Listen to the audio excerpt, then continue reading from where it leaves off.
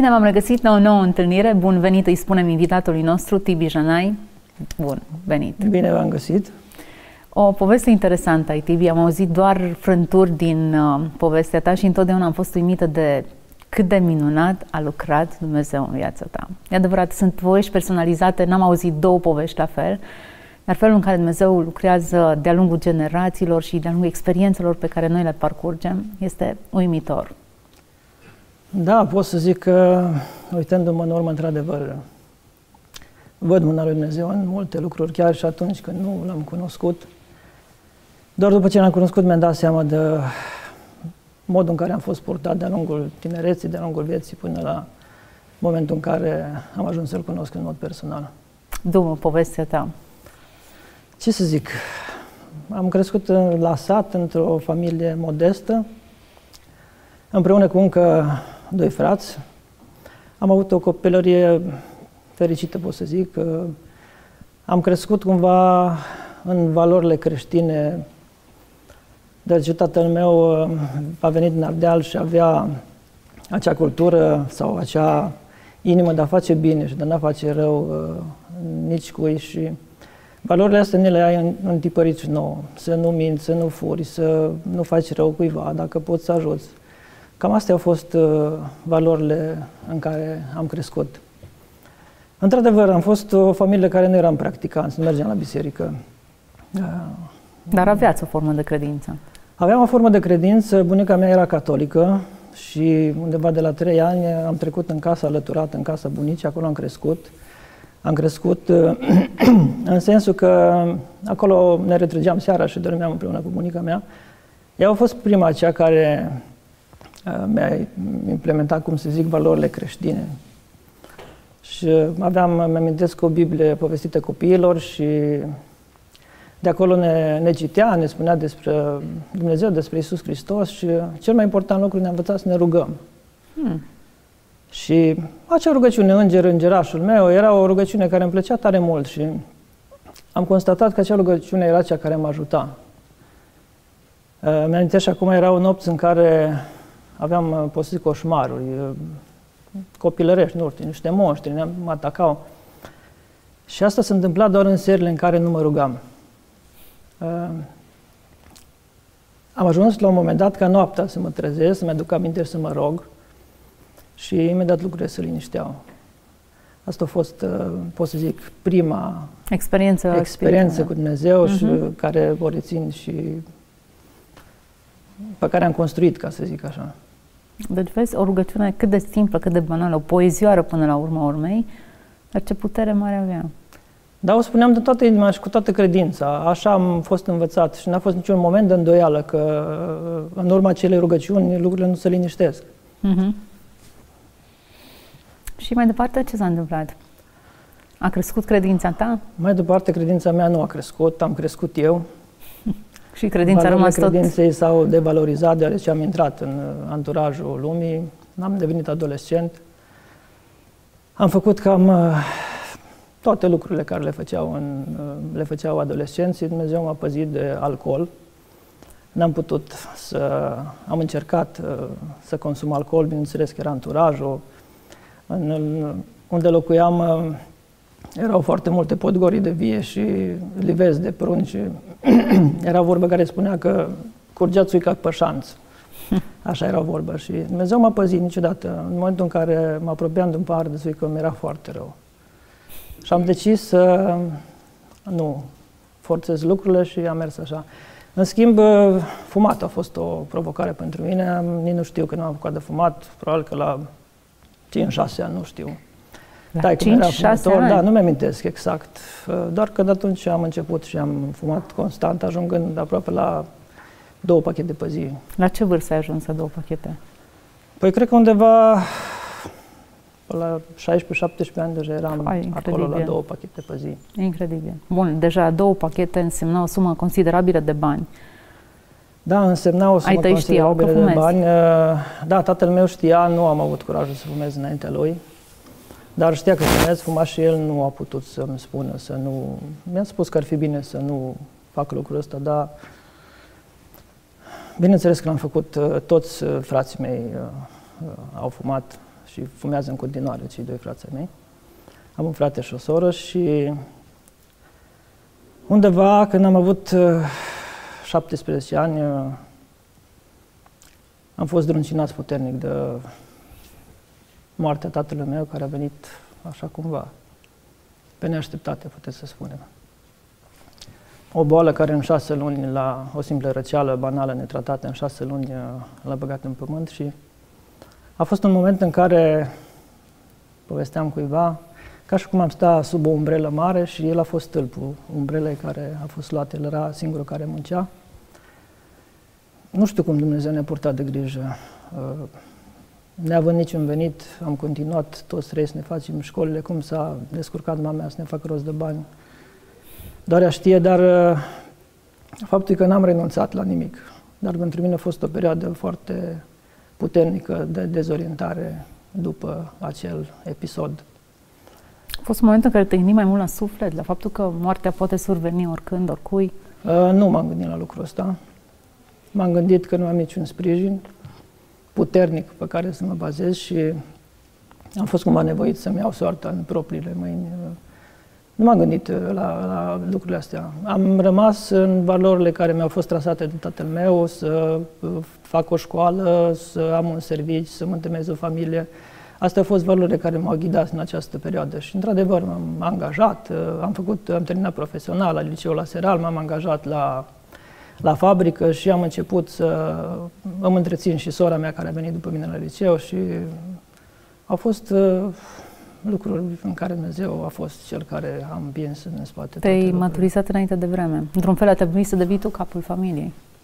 Uh, oarecum da. Oarecum da, pentru că fratele meu alunecase într-o pantă destul de rea cu, pe partea cu alcoolul da, nu ne puteam baza pe el. Uh, mama mea, într-adevăr, uh, bunica mea încă trei atunci avea o pensie pe care oarecum ne ghidam, dar uh, lucrurile au mers, după ce m-am angajat, pot să spun pe partea că am preluat cumva întreținerea, întreținerea familiei. Lucrurile au continuat într-o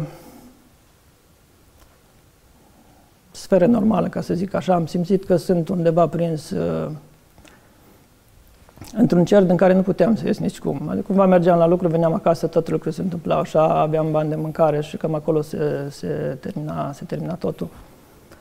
Dar uh, a fost un moment în care și acest, această siguranță a mea a fost uh, zdruncinată, deoarece fabrica unde am lucrat a început să dea semne de slăbiciune încet, încet, să îndrepta spre faliment ajunsesem să nu ne luăm salarul chiar și șase luni, am fost cumva obligați, ca să zic așa, să ne descurcăm, în sensul în care era sloganul de unde trăiești, de acolo trebuie să mănânci și începusem să ne completăm veniturile sustrigând, sustrigând diverse uh, lucruri din fabrică. Asta cu încurajarea conducerii sau? Uh, cu știință, nu cu încurajarea, dar era o știință, era o, o cumva și la poartă, era o fabrică mare, Uh, lucram la forjă, făceam uh, uh, scule de, pentru agricultură. Erau uh, sape de prășit, uh, tot ce, toate uneltele agricole care erau. Uh, și atunci de acolo noi le uh, confecționam și bineînțeles le luam acasă și le vindeam uh, uh, în afară. Și dar vă spun, Dumnezeu a scuturat un pic lucrurile, dar uh, în partea asta aș avea o, o poveste oarecum interesantă cu privire la aspectul ăsta, în care vreau să scot în evidență modul în care Dumnezeu m-a păzit și uh, țin minte că într-o dimineață ieșeam de la schimbul 3, aveam, uh, cred că 25 de sape de prășit clădite pe lângă mine sub uh, sub Nu pot imagina cum arătai. Sub cămașă. Eram Zdravă. mai slab decât acum. Și am ieșit afară pe partea fabricii, bineînțeles, cu știința uh, portarului și trebuia să intru în mașina unui coleg care era vis-a-vis de fabrică peste șosea. Și când am ajuns acolo, am văzut două mașini Daci roșii identice, una în spatele celelalte. Uh, de pe trotuar de vis-a-vis venea un polițist care era cel mai dur polițist recunoscut în orașul respectiv. M-am pierdut total, deja îmi făceam firme unde o să ajung pentru ceea ce fac. Și am ajuns la un moment dat să trag de ușa mașinii polițistului. Te-ai dus înspre el? M-am dus înspre mașină. Mașina polițistului și uh-huh. a mhm. colegului meu era una lângă alta. Am Erau roșii amândouă, n-am mai... A, și el e confundat, te-ai dus Am confundat și trăgeam de ușa, ușa, polițistului. ușa polițistului și la un moment dat el îmi spune ce nu cred că vrei să urci în mașina aia. Ce cred că mașina de față, acolo trebuie să urci tu. A fost... Uh, Au picat sapele. N-au picat, au fost bine legate, dar la, la momentul respectiv uh, am zis că am avut noroc. Uh-huh. Așa am perceput. Dar uh, mai târziu mi-am dat seama că lucrurile au stat într-un alt, uh, într-un alt mod și că Dumnezeu a fost Cel care a avut milă de mine în momentele alea și pentru uh, fapte, ca să zic așa, mult mai ieftină decât cea care am făcut eu, colegi de-a mei care au fost prinși, uh, au ajuns la închisare. Mm. Da, asta a fost, uh, asta a fost acea perioadă. Câți ani aveai atunci? Păi m-am angajat, uh, nu aveam 18 ani când m-am angajat, undeva în jur de 19 până în 20 de ani, era mm-hmm. înainte de armată. Ai, ți-ai fi distrus toată viața. Da, da, toată viața a fi fost uh, distrusă. Cam asta a fost partea de... Apoi în, uh, în 2000 lucrurile s-au terminat la Bocșa și am rămas șomer, debusolat, dezorientat total, cu un șomaj care nu mi-ajungea nici pentru țigări. Și atunci am decis să vin, să vin la Timișoara. A fost, cred că, cea mai bună decizie mea, pentru că de acolo uh, lucrurile au, au început să se schimbe. Am ieșit din anturaj, am ieșit uh, și am intrat într-un alt anturaj, în anturajul Bisericii lui Hristos. Cum așa? Uh, într-o seară, mi-aduc aminte, eram în, în gara de nord așteptam să mă duc cu trenul. Găsisem un serviciu aici în Timișoara, tot în meseria mea, nu foarte bine plătit, dar oarecum mi-ajungeau banii de, de țigări și de mâncare și de o chirie care uh, am primit-o destul de ieftin la o mătușă de mea. Și m-am întâlnit cu soția mea, care atunci era o cunoștință. Am fost consăteni am fost la grădiniță împreună la sat și ne-am întâlnit după 20 de ani pe peronul gării din Timișoara. Întâlnire providențială. Și ne-am recunoscut, ne-am mai văzut noi trecători prin, uh, prin sate. Mai bine avea uh, bunici acolo, avea un unghi și întrebându ce faci și dintr-una într-alta trebuia să plec. Păi zic, eu sunt Timișoara, nu vrei să ne mai întâlnim? Ba, cum să nu? Ne-am întâlnit și mi-a spus de la prima întâlnire, uite, eu merg la biserică, sunt botezată, sunt uh, baptistă, astea sunt uh, valorile după care trăiesc, astea sunt valorile de la care nu derog. Bineînțeles că în mintea mea așa, oarecum s-a conturat-o imediat, o să o trag eu după calea asta, să încerc să duc eu lucrurile în direcția în care doresc. Eram cumva interesat de căsătorie, pot să zic, la momentul respectiv.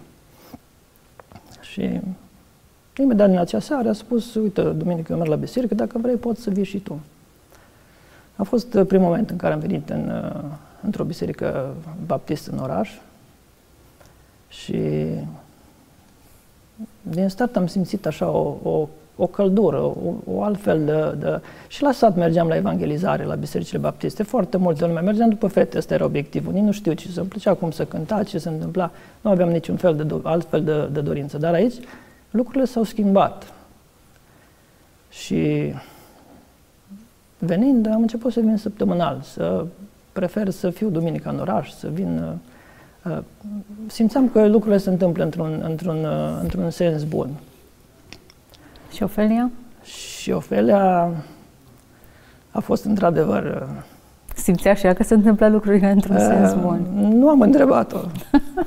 nu am întrebat-o, probabil că simțea dacă a rămas în continuare lângă mine și nu mi-a spus. Ce am apreciat le-a fost niciodată nu mi-a spus renunță la fumat, renunță. Niciodată nu mi-a spus lucrurile astea. Și asta a fost lucruri care pe mine m-au, m-au, am, încercat, am început să prind foarte mare încredere în, în ea. Dar lucru uh, decisiv, ca să zic așa, care de, vorbind de ea m-a făcut să zic aici în mâna lui Dumnezeu a fost uh, momentul în care am fost la restaurant. Am invitat-o la restaurant la un moment dat. Aveam niște bănuți pe buzunar, am făcut-o cu socotele. Dacă luăm o pizza, cred că acopăr ce am de acoperit. Și mi-a fost rușine să-i spun, hai să luăm o pizza să mâncăm amândoi. N-a zis, comandă ce vrei tu. Și când a venit uh, nota de plată, mi-a spus, nu, nu, eu îmi plătesc mie consumația. A fost prima oară când mi s-a întâmplat așa ceva. A spus, nu, și eu am servici, la fel ca tine, eu o să-mi plătesc consumația. Da, și a fost momentul în care, într-adevăr, am avut așa o, o asigurare că nu mai sunt singur, că nu mai sunt, îl simțeam pe Dumnezeu, în, în, deja aveam, oarecum eram cercetat de mai multă vreme în biserică și lucrul ăsta mi-a, mi-a concretizat, practic, faptul că uh, sunt pe un drum bun. Faptul că ea a ales să-și plătească nota de plată. Uh, Ai văzut în asta ce? Caracter? Nu știu ce am simț, văzut ce? în asta. Nu pot să spun ce am văzut în asta, dar într-adevăr am văzut, uh, am văzut un, un om cu care uh, aș fi putut să merg mai departe să realizez ceva. Uh, un om serios, adică o seriozitate, o altfel de, de, de relație, niciun fel de interes, nici urmă de așa ceva și doar, uh, doar lucruri uh, clare și concrete. Uh. Am digerat mult, dacă nu l-am uitat nici acum, a fost foarte important pentru mine. Am uh, continuat să vin la biserică, uh, oarecum în inima mea luasem o decizie pentru Hristos. Dar aveam în spate uh, un bagaj greu, era fumatul.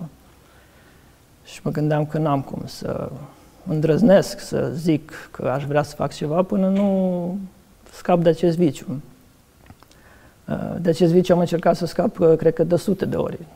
Și nu mi-a ieșit niciodată. Și atunci am avut, uh, am avut curajul să-L provoc pe Hristos.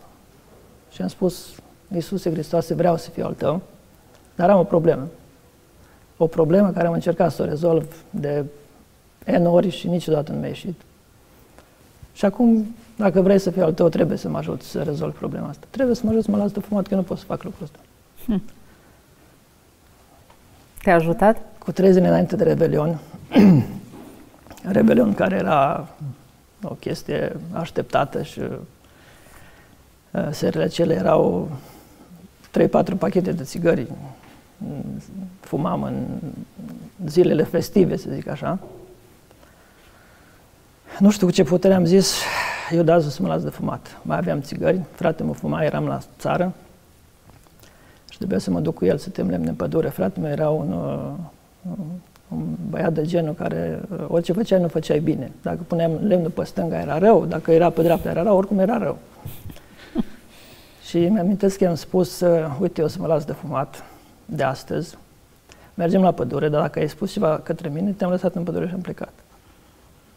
A fost o zi mută între frați, ca să zic așa. N-a zis nimic. Am venit acasă, am simțit că sunt sprijinit și prin lucrul ăsta. Și am, a doua dimineață am venit la oraș. Venind la oraș, am întâlnit cu un consătean cu care uh, foarte mult am interacționat în perioada imediat uh, înainte de acest eveniment. Nu era fumător, nu avea nicio treabă cu fumatul. Vin că el și la un moment dat scoate un pachet de țigări din uh, buzunar și spune, uite, nu vreau o țigară. Hm. A fost momentul în care, într-adevăr, am zis, sunt într-o luptă, Hristos e cu mine și nu o să... Și am spus, dar ce se întâmplă? Nu fumezi niciodată. Ne știm de 26 de ani, nu mi-ai dat o țigară niciodată. Păi ziceam, așa mai dau la câte o fată. Uh, da, a fost momentul în care, într-adevăr, am simțit că Isus este cu mine și că pot să fac lucrul ăsta. L-am făcut și mulțumesc Lui Dumnezeu. Uh, au trecut 20 de ani de atunci și nu m-aș mai întoarce pentru nimic în lume, cu toate cred. că vreo 5 ani de zile am dus după mine ca o povară uh, doar gândul la, la țigări. Ți întipărit niște reflexe Bun, eu n-am fumat, adică nu a fost experiența mea, dar mă gândesc că îți formezi pur și simplu un comportament de fumător, un reflex, momente de tensiune pe care ți le calmezi în felul ăsta, momente de plictiseală pe care le umpli în felul ăsta. Nu înțeleg, care e de fapt rațiunea? Uh, da, oarecum, uh, rațiunea era mai mult uh, populară și indusă în exterior decât, la urma urmei, era, la început, era da, o nevoie. Aia... A devenit o nevoie, nu mai conta care era rațiunea din spatele. Era o nevoie pe care corpul ți-o tot, ți-o tot cerea. Mi-amintesc că înainte de episodul ăsta ajunsesem să mă trezesc la 5 dimineața ca să plec la 6 la servici, să am o oră să-mi beau cafea și să fumez 5 țigări înainte să plec la servici dimineața. Deci cam aici era, era nivelul de dependență, ca să zic așa, că pot să spun că am ajuns și la... timpul ăla făceai ceva? Că, na, și noi ne trezim la 5, deschizi Biblia, citești, te rogi. Nu aveam Biblie la momentul respectiv, deschideam televizorul. Aiurea, doar ca să... Da, era un, un, cumva un, un ritual ca să mă împlinesc unele nevoi, mm-hmm. nici de cum... Știam că nu e bine ce fac. Tibi, ce însemna de fapt povestea asta ta? Dacă ar fi să, eu știu, să-mi scrii o carte despre experiența asta a convertirii, ce titlu ai pune? Care ar fi firul roșu al poveștii acesteia? Nu m-am gândit să-i pun un titlu, nici să scriu o carte. uh, firul roșu aș putea să spun că este Harul Dumnezeu care m-a însoțit pe toată perioada până am ajuns să fac legământ cu El. Uh, după ce am luat decizia, m-am uh, botezat, am, uh, apoi m-am căsătorit. A fost un moment în care pot să zic că am fost profund cercetat. A fost, cred că, cea mai clară, ca să zic așa, uh, uh, cel mai clar moment în care l-am simțit pe Dumnezeu, într-adevăr, uh, aproape de mine și l-am simțit, uh, nu aproape, foarte aproape, că aproape l-am simțit tot timpul. A fost, uh, la un moment dat aveam uh, mulți ani după ce m-am, după ce m-am întors la Hristos și într-o conjunctură la o predică despre Harul premergător al Dumnezeu, a fost cea mai puternică cercetarea mea și în momentul în care am aflat despre acel Har premergător care te însoțește și în momentul în care nu-L cunoști pe Hristos. Să-mi traduci și... termenul ăsta pentru cei care nu știu la ce te referi. Da. Cum adică har premergător? Adică acel har pe care Dumnezeu l-a avut pentru mine încă de când m-am născut. Și în uh, harul în care m-a protejat de lucrurile rele care puteau să mi se întâmple. Și uh, harul lui după ce m-am convertit a fost mult mai vizibil, dar era acel har care nu, nu reușeam să-l, să-l percep. Dar el a fost acolo și în momentul în care uh, am aflat despre acest har, a fost în momentul în care toate lucrurile rele s-au derulat așa prin fața mea, uh, adică uh, faptele care mă puteau duce, uh, așa cum am spus, acele furturi și multe alte lucruri care le fac oamenii care nu știu că, în primul rând, multe dintre ele nici nu consideram că nu sunt ok. Abia mai apoi le-am aflat că sunt păcat, dar toate cele lucruri mă puteau uh, dărâma. Și la finalul uh, acelor momente l-am simțit așa pe, pe Dumnezeu cumva că zâmbea și um, îmi spunea, vezi, uh, am fost alături de tine. A fost uh, un moment uh, extraordinar. Hmm. Cumva în toate experiențele tale, inclusiv uh, faptul că din, de la o vârstă foarte fragedă te-ai apucat de fumat, moartea tatălui tău, ulterior experiențele pe care le-ai avut, toate s-au legat și au creat un fel de, de fundal pentru omul care ai devenit acum, iertat de Dumnezeu, răscumpărat, cu experiența pe care o ai acum? Mă sigur că au contribuit și mm, faptul că am fost uh, nevoit încă de copil, ca să zic așa, am fost obișnuit să muncesc, să nu aștept uh, uh, lucruri de la de la nimeni. Mai apoi, după moartea tatălui, am fost obligat să construiesc și să, să mă maturizez poate prea devreme și uh, toate lucrurile astea și toate întâmplările care au fost în viața mea și modul în care s-au derulat ele, mai ales în acel film uh, scurt uh, despre care, despre care spuneau, m-au întărit, m-au întărit și credința în Hristos și parcă mi-au dat putere să merg mai departe, mai mult decât a rămâne un simplu spectator, ci a încerca să, să fac mai multe pentru Hristos. Hmm. Cine e Hristos pentru tine? Pot să spun că este prietenul meu. este prietenul meu, Iisus Hristos, și am ales să ascult în totalitate de El și îl simt aproape. Te înțeleg perfect. Cel mai bun prieten e El. Cam aici, Așa. cam asta e nivelul, pot să zic, la, aș putea să spun despre Iisus Hristos. Așa ceva. E povestea noastră. E firul roșu al vieții noastre, de fapt, trebuie să spunem lucrul acesta, că în toate experiențele a fost mâna Lui, protecția Lui, bunătatea Lui, răbdarea Lui, îngăduința Lui, credincioșia Lui. Lista de, de calități poate să continue și e inepuizabilă. Tibi, suntem la finalul emisiunii. Îți mulțumesc că ai ți luat inima în dinți și că ți-ai deschis inima și că ai venit cu povestea ta. E o încurajare pentru noi. Da, mulțumesc și eu de invitație. A fost într-adevăr o provocare și decizia de a veni. mă bucur Dar... că ai luat-o, mă bucur. Și mulțumesc celor care au rămas alături de noi. Nu poți să fii prea legat de un obicei ca Dumnezeu să nu te poată scoată de acolo.